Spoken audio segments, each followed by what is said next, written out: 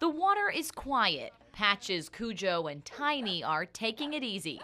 We love our dogs. Their owner, Floyd Rice, comes home to find this note signed by a stranger. I have no idea who he is.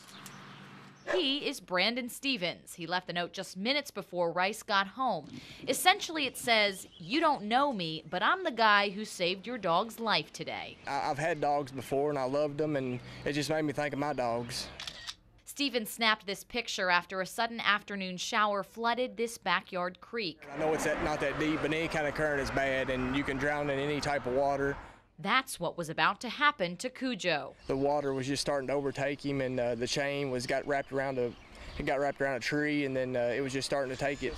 Stevens says he doesn't know how to swim. He hates rushing water. You never go through water, and you never mess with water, and water is one of the most dangerous things.